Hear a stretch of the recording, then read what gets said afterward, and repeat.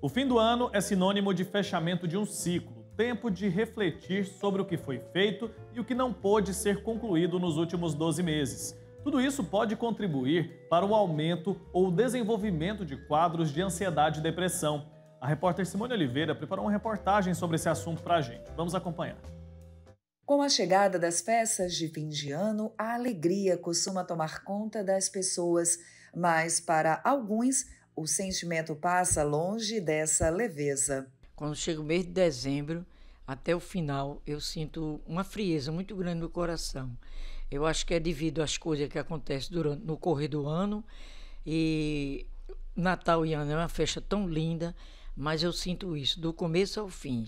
Às vezes dá vontade até de chorar, mas eu me seguro e peço muita paz, muita fé no Senhor para poder eu passar acabar com isso, que é todo ano que eu sinto isso, é, nem é agora não, é todo ano, desde solteira. Fico feliz quando estou com minha família, a nascer de Natal, no final do ano, mas aquela frieza dentro de mim, depois passa. Quando terminou o ano, passa.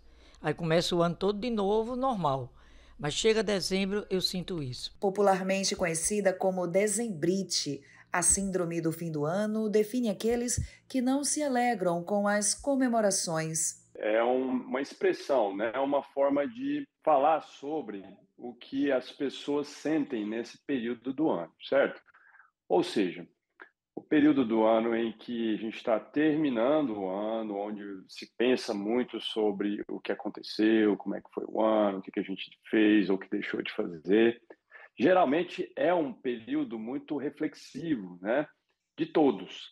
Inclusive, o, o, próximo aniversário também, é, também é um, um, momento onde que as pessoas também têm essa reflexão. Há uma maior é, suscetibilidade para se ter se, é, sentimentos, emoções, às vezes de tristeza, às vezes né, de algo não patológico, muitas vezes, por exemplo, uma sensação, às vezes de reflexão mesmo, não propriamente de tristeza, mas e um indivíduo que já apresenta um quadro psiquiátrico, às vezes, em que a saúde mental não está bem, né? já há um período já que está enfrentando algum problema psiquiátrico já nesse, é, nesse período, ela pode, essa síndrome do final de ano pode intensificar esses sintomas, né? E piorar o quadro daquele que já estava apresentando algo antes.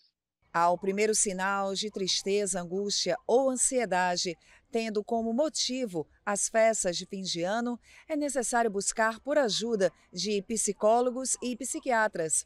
O auxílio desses profissionais da saúde mental faz toda a diferença. O que era para ser um momento de reflexão, um momento um pouco mais delicado, que está se transformando em algo mais intenso, com sintomas mais pesados, algo que não está passando e que está gerando é, disfuncionalidade ou um desconforto e angústia muito grande, esse indivíduo talvez já esteja começando um quadro e precisa procurar ajuda. Quem já tem um quadro e que está passando nesse período, é um período que você tem que estar tá mais, digamos assim, atento aos seus sintomas, ou seja, estava fazendo o tratamento, estava indo tudo bem, mas começou algum sintoma a aparecer, ficar mais intenso, ansiedade, depressão. Então, sempre procurar o médico, psiquiatra que possa te ajudar, que possa, às vezes, fazer um ajuste da medicação, caso seja necessário. E tentar se cobrar menos também, né? Não é porque a gente não conseguiu atingir todas as metas que a gente mesmo estipulou no ano passado, é por isso que a gente precisa agora desenvolver ansiedade ou ficar chateado. É importante a gente se organizar para tentar, então, cumprir com essas metas no ano que vai começar.